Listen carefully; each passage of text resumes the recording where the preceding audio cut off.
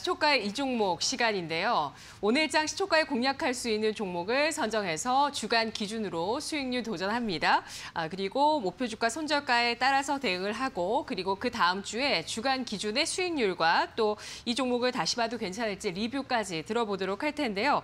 오늘 목요일입니다. KTB 투자증권 영업부 이성훈 과장과 함께하겠습니다. 안녕하십니까? 네, 안녕하십니까? 네, 이성훈 과장의 지난 종목 수익률 세 가지 종목 살펴보도록 하겠습니다.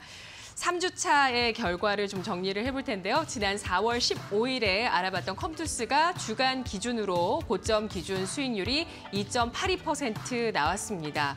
뒤를 이어서 폴더블 관련주 파인테크닉스가 주간 기준으로 16.82% 고가 기준 수익률이 나왔고 이지바이오 지난주 종목인데요. 8.41%의 수익률이 확인되고 있습니다. 네, 매수 29일에 알아봤었 단행했었던 이지바이오에 대해서 알아보도록 하겠습니다. 이지바이오 목표 주가 바로 도달을 하면서 4% 수익률이 나왔고요. 이후에 더 올라가서 네. 8%까지 수익률이 나왔습니다. 이지바이오에 대해서 리뷰해 볼까요? 네, 우선 뭐 좋습니다. 뭐 수급적인 면에서 봤을 때도 그렇고 뭐 거래량으로 봤을 때도 뭐 주가가 지난주에 좀 그 급등을 한 이후에 어 약간의 시장 영향으로 조정을 좀 받긴 했지만 어 제가 봤을 때도 이지바이오의 이 첨가제 시장에 대한 이 실적에 대한 기대감 그리고 해외 쪽에서의 항생제에 대한 제한으로 인한 첨가제의 수요가 어 해외를 시작으로 들어온다고 한다면은 이지바이오의 실적에 대한 부분은 더욱더 기대감이 커질 것으로 좀 판단이 되고 있고요. 뭐 이지바이오뿐만 아니라 음식료 업 종 전체적으로 올해 상반기, 올해 뭐 1분기 때도 본다고 하더라도 주가에 대한 부침이 좀 있었는데 뭐 여러 가지 이제 내성이 좀 생겼지 않았나라고 좀 판단이 되고 있고요. 그렇기 때문에 최근에 시장이 약간 차익 실현에 대한 불안감으로 있었을 때 이 차익 실현에 대한 노출이 많이 없는 그런 종목 위주로 접근을 해야 된다는 관점에서는 네. 이 음식료뿐만 아니라 이 대표적인 또 음식료 안에서의 이 영업이익률의 어, 특화가 되고 있는 이지바이오에 대한 관심은 꾸준히 가져야 되지 않을까 좀 이렇게 보입니다. 있습니다. 네, 애그플레이션 수혜주라고도 볼 수 있는 종목이죠. 네, 이지바이오가 오늘 장에 또 어떤 반응을 보일지, 앞으로 또 어떤 어, 주가 움직임을 보일지 매일 또 잘 체크를 한다면 이 종목이 어디에 움직이는구나, 어떤 변수에 따라 움직이는구나 잘 또 아실 수가 있습니다. 그렇다면 오늘 장은 또 어떤 변수에 주목하면서 대응을 할지 어떤 업종 보시겠습니까? 어, 우선 자동차 업종 한번 좀 말씀드리도록 하겠고요. 네. 뭐 자동차 업종 같은 경우에도 뭐 주가가 거의 이제 많이 안 움직였죠. 우선 올해 초 같은 경우에 이 차량용 반도체에 대한 부족에 대한 현상 부족에 대한 우려감이 나와주면서 또 이제 그 전기차 어떤 폭스바겐의 그 내재화에 대한 이슈도 있는 상태에서 이 자동차 업체들의 주가가 크게 뭐 생각보다는 가지 못했던 게 사실이라고 볼 수 있겠는데 뭐 하지 만 지금 현재는 음 지난 주에 발표됐었던 뭐 4월에 뭐 판매량을 보고 1분기 때 실적을 본다고 하더라도 이 실적과 펀드멘탈로 봤을 때는 이 자동차 업체들이 뭐 크게 좀 달라진 건 없다라고 좀 볼 수 있겠고요. 이 4월에 글로벌 판매만 본다고 하더라도 현대차가 106% 그리고 기아차가 78%까지 증가한 모습 보여주었는데 어 우선 작년에 1분기 때 어떤 코로나에 대한 기저효과도 어, 있는 건 분명히 어, 분명히 사실이라고 볼 수 있겠지만 뭐 하지만은 이 판매 대수를 본다고 하더라도 해외 쪽에서의 어떤 판매 단가나 여러 가지 영향으로 영향으로 봤을 때 이 판매 대수에 대한 증가 부분은 의미가 있는 상황이다라고 좀 볼 수 있겠고요.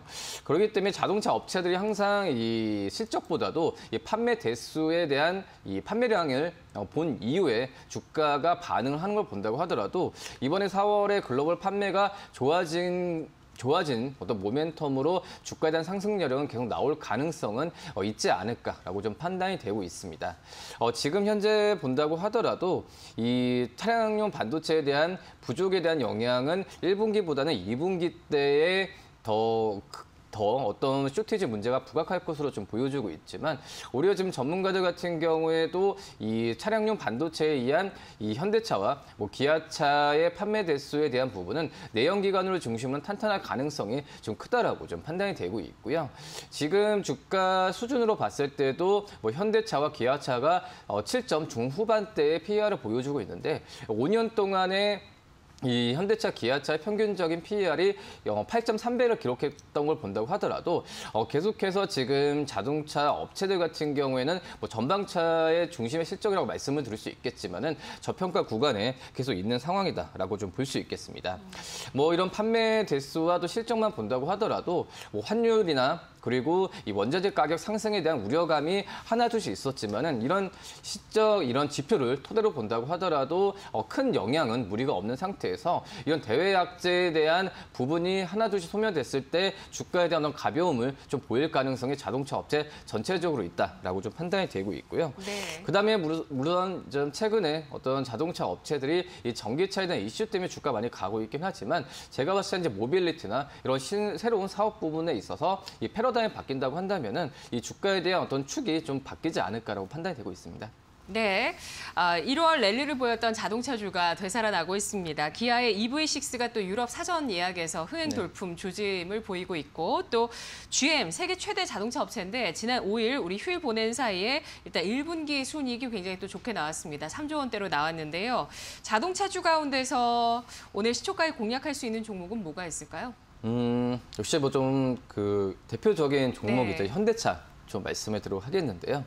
뭐 말씀드렸죠. 1분기 실적, 뭐 4월 판매 대수 뭐 변함이 없습니다. 네. 꾸준히 우상향하고 있고 예. 이 올해 1분기 실적 같은 경우에는 좀 1조를 돌파를 했는데 뭐 2016년 1분기 이후에 지금 5년 만에 1조에 돌파된 모습을 좀 보여주고 있습니다.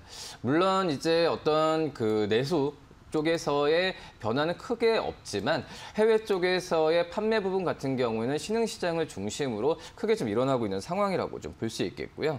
뭐 그러기 때문에 이런 1분기 실적에 대한 호전은 해외 쪽에서의 판매 부분으로 본다고 한다면 2분기에도 이어지지 않을까라고 판단이 되고 있습니다. 지금 뭐 전기 뭐 차량, 차량용 반도체에 대한 얘기가 계속 마- 나와주고 있는데 이 판매 생산에 대한 차질이 나온다고 하더라도 네. 지금 2분기 때의 현대차의 실적 에 대한 부분은 최대 지금 1조 8천억 이상까지도 잡고 있는 상황이라고 볼 수 있겠고요.